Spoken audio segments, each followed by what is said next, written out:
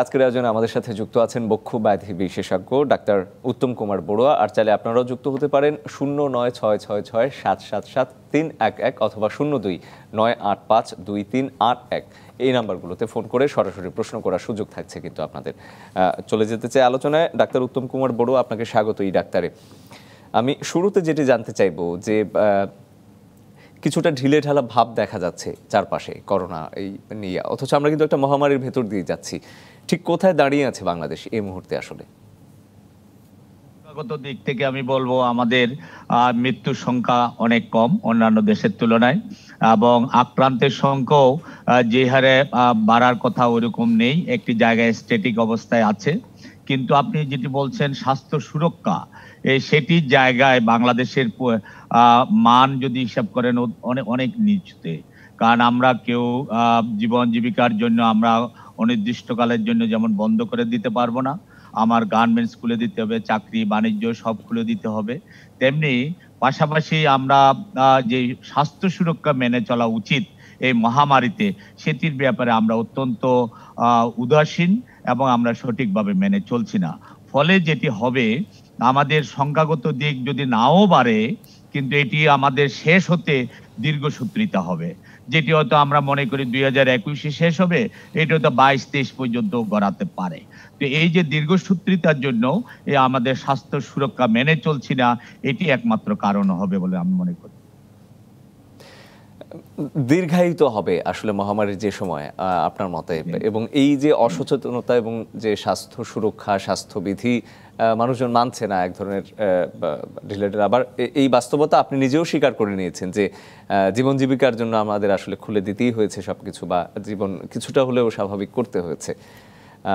শুনব সেই ব্যাপারে আরও আরও একটু জানতে চাই যেটি, যে যারা অন্যান্য রোগীর রোগী যেমন আপনি একজন বক্ষব্যাধি বিশেষজ্ঞ আমি যদি এই বিষয়ের কথাই বলেছি যারা বক্ষব্যাধির রোগী এই সময়ে যারা হাসপাতালে যেতে পারছেন না এমনকি আপনারা নিজেরাই বলছেন যে যতটা সম্ভব হাসপাতালে না গিয়ে আসলে চিকিৎসা করা যায় সংক্রমণের যাতে ঝুঁকি কম থাকে। তারা আসলে কি করতে পারেন? মানে কীভাবে আসলে চিকিৎসাটা অব্যাহত রাখতে পারেন এই বাড়িতে থেকেও? ধন্যবাদ রঞ্জন শুভ্র। আমি তার আগে একটু বর্তমান পরিস্থিতিটা একটু বলেনি তারপর আপনার প্রশ্নে একটু সঠিক উত্তর দিচ্ছি। আমাদের যে এখন যে কন্ডিশনটি আমরা যেটি আগের যে চিত্রটি ছিল, ভয়ে অনেকে হাসপাতালে যেত না, যেগুলো নন কোভিড রোগী, বক্ষব্যাধি হোক গাইনি হোক বা অন্যান্য কোনো রুগী এটা যে আসতো না, কিন্তু এই সেই চিত্রটি কিন্তু এখন নেই। এখন কিন্তু যেমন আমি সৈসরাদি মেডিকেল কলেজ হাসপাতালের একটি ওয়ার্ডের চিত্র বলি, একটি ওয়ার্ডে আমার ধারণ ক্ষমতা হলো ষাট বেড। ওইখানে রুগী আছে একশো নিরানব্বই জন। অর্থাৎ তিন গুণেরও বেশি। অতএব নন কোভিড রুগীরা এখন সেই ভয় আর এখন পাচ্ছে না। সবাই কিন্তু হাসপাতাল মুখী হয়েছে। সবাই কিন্তু এখন হাসপাতালে নন কোভিড বক্ষব্যাধি বলেন, অন্যান্য রোগ বলেন, সবাই কিন্তু এখন হাসপাতালে আসছে। তো আপনি যেটি বলেছেন হলো যেমন হলো ঝুঁকি। আসলে ঝুঁকি তো থাকেই। এখন মানুষ কতদিন চেপে রাখবে? মনে করেন আমার গল ব্লাডারের পাথর আছে। কিডনির পাথর আছে। আমি ব্যথা নিয়ে অনেক দিন আমি চেপে রেখেছি।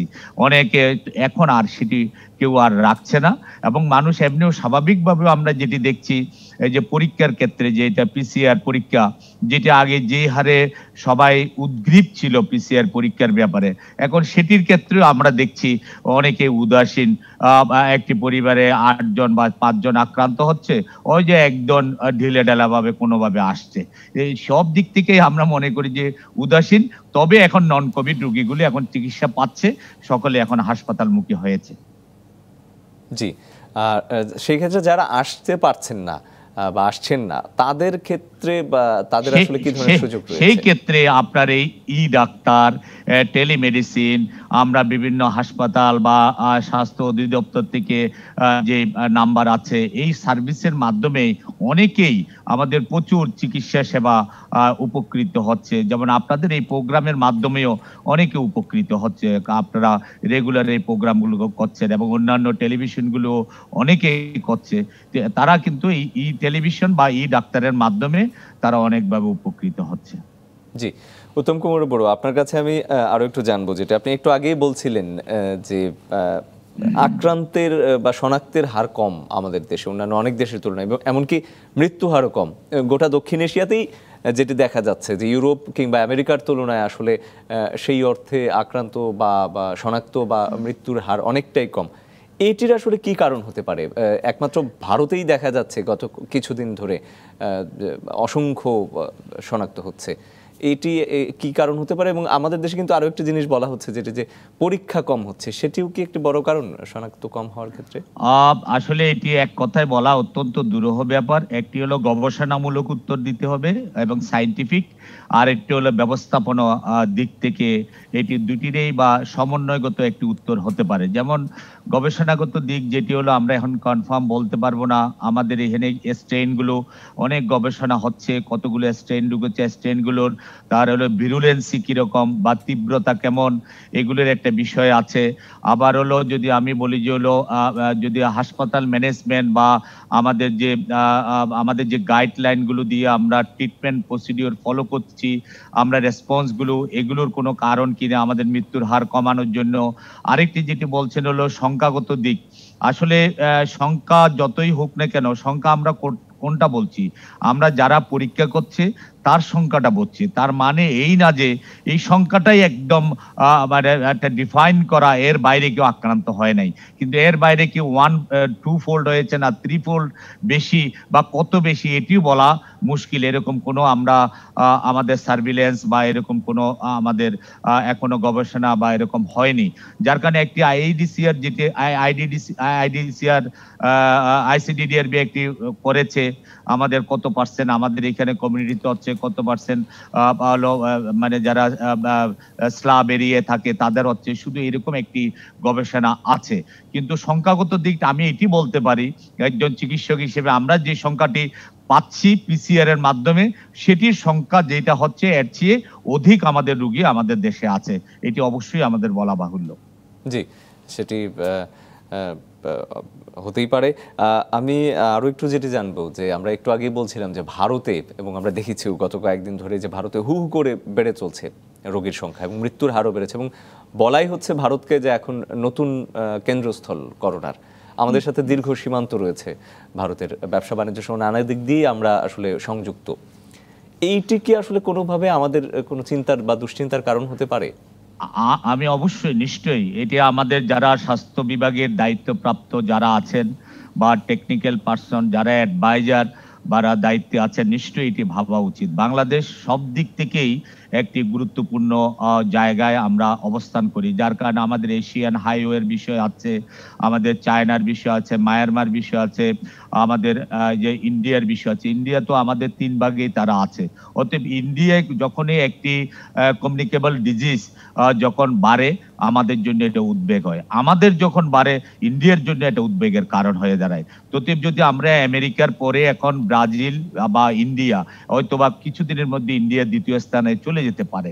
তো এটি যদি হয়, এটিও আমাদের যে প্রস্তুতি, এটিও আমার নিশ্চয়ই আমাদের নীতি নির্ধারকরা ভাবছেন, এটি আমাদের ভাবা উচিত। কারণ আমরা যখন প্রথমে দু একটা ভুল তো আমাদের হয়েছে আমাদের প্রথম কোয়ারেন্টাইনের কথা বাইরে থেকে আসার পর যেভাবে আমরা মানে এক্সপোর্ট হওয়ার, যে যে এই ভাইরাসটা আমাদের কাছে যখন ট্রান্সপোর্ট হয়ে আসছিল, ওই জায়গাটায় আমাদের কিছু দুর্বলতা এবং ব্যর্থতা ছিল।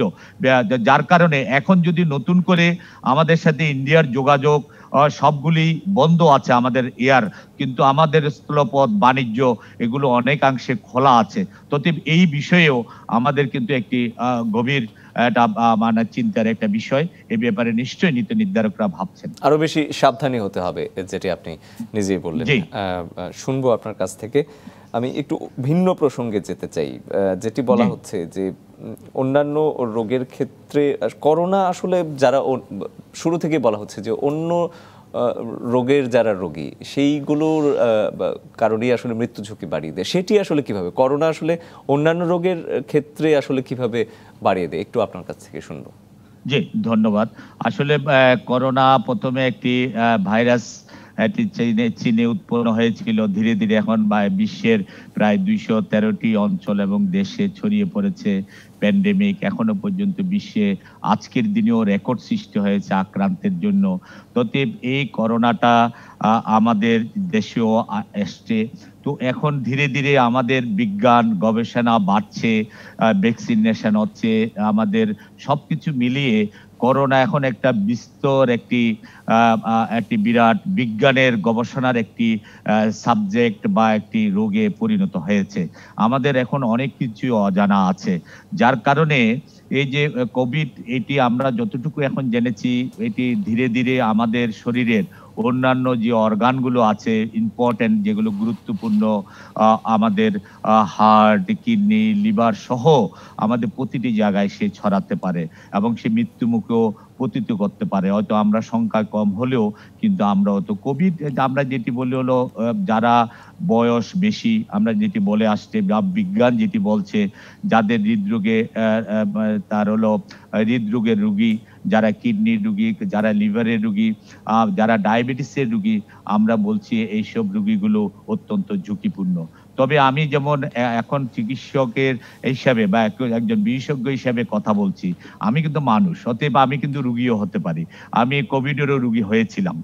ততএব আমরা চিকিৎসকও রুগী, আবার চিকিৎসক নিজেই চিকিৎসক। সেই দৃষ্টিকোণ থেকে আমি যদি বলি, আমার কোভিডের ব্যবস্থাপনার এক্সপেরিয়েন্স রুগী হিসেবে, একজন চিকিৎসক হিসেবে, আমি মনে করি যে আমাদের ওয়ান পয়েন্ট ফোর যে আমাদের যে মৃত্যুর হার, এটি ইচ্ছা করলে কিন্তু আমরা আরও কমিয়ে আনতে পারি। শুধু আমরা পয়েন্ট ফোর বা পয়েন্ট ওয়ান পয়েন্ট টুতে নিয়ে আসতে পারি। এটা আমি বিশ্বাস করি। কারণ এটি এই কারণে এই জায়গাটায় আমরা বলছি, আমরা কিছু ভুল মেসেজ আমরা মনে হয় আমরা ওয়ার্ল্ড হেলথ অর্গানাইজেশন বা সিডিসি বিশ্বের, বা আমরাও বা কিছু কিছু মেসেজ আমরা মনে হয় ভুল মেসেজ মানুষকে, জনগণকে দেওয়ার কারণে তারাও কিন্তু এটি সমন্বয় না ঘটনার কারণে আমাদের মৃত্যুর হারটা আরও কমানো সম্ভব। আমি মূল মেসেজগুলো বলছি এইটাই, আমরা বলছি আশি পার্সেন্ট রুগী ঘরে চিকিৎসা করা যায়। এটি সত্যি কথা, এটি কিন্তু মেসেজটা ঠিক, সঠিক। কিন্তু আমি যখন বলব আশি পার্সেন্ট এটির উপর বেসিস করে, জনগণ, আমার কাশি হলো, জ্বর হলো, আমি বসেই রইলাম, আমি ওই আশি পার্সেন্টের মধ্যে একজন।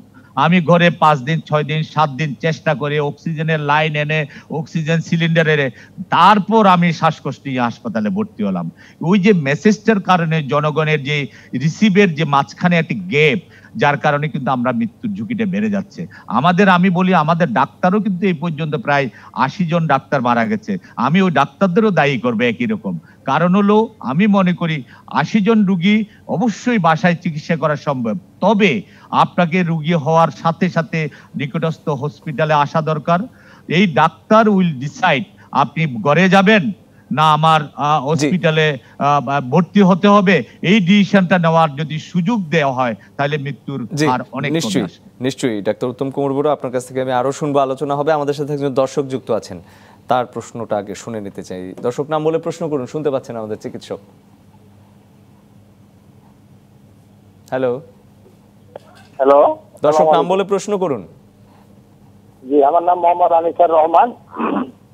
জি। আমি গত সতেরো মাস যাবৎ হার্টের রুগী। আমাকে ডক্টর ওই ঢাকাতে চিকিৎসা করার পরে হার্ট ফেলের কথা বলছে। আমার ইকোর রেজাল্ট ছিল তখন টোয়েন্টি ফাইভ মানে আগের দিন পরীক্ষা করে টোয়েন্টি ফাইভ পরের দিন পরীক্ষা করে টোয়েন্টি থ্রি এরপরে আমাকে রিলিজ করে দেয়, আমাকে বলে যে আমি আর বাঁচবো না এবং জীবিত করতে পারব না। আমার বাড়ি রাজশাহী এই এরিয়ার ভিতরে তো এই জার্নি আমি করতে পারব না বিদায় বাঁচবো না। আপনি কোথায় ভর্তি হয়েছিলেন? আমি এখনও বেঁচে আছি। আপনার সাথে কথা বলার সুযোগ আল্লাহ কোথায়? বলতে পারছি। আপনি আপনি কোথায় ভর্তি হয়েছেন? দিনে দিনে অনেক উন্নতি হয়েছে যদিও প্রথমের দিকে আমি কারোর সাথে কথা বলার ক্ষমতা ছিল না আমার শরীরের এরকম পরিস্থিতি ছিল। আহ, এখন আল্লাহ কথা বলতে পারি, কোথায় ভর্তি আছেন? করতে পারি। আপনি এখন কোন হাসপাতালে ভর্তি আছেন? ঈদের পর আমার হঠাৎ করে দর্শক আপনি এখন কোথায় ভর্তি আছেন? সেটি আমাদের চিকিৎসক জানতে চেয়েছেন। আমি এখন বাড়িতে আছি। আমাকে এই বাড়িতে চিকিৎসা প্রেসক্রিপশন করে দিতে আমি বাড়িতে ওষুধ খাচ্ছি। আর এই মুহূর্তে আসলে আপনার সমস্যাগুলো কি? জি? এখন আপনার সমস্যাগুলো কি? এখন আমার সমস্যা ঈদের পরে হঠাৎ করে আমার জ্বর সর্দি কাশি পাতলা পায়খানা হয় হয় এমনি শরীর দুর্বল আরও দুর্বল হয়ে যায়। এই কারণে আমার এখন শ্বাসকষ্টটা আগের তুলনায় একটু বেশি হয়েছে। আচ্ছা ধন্যবাদ। কি করতে পারেন? আমরা তার আপনি হলো হার্ট ফেলিওরের রোগী।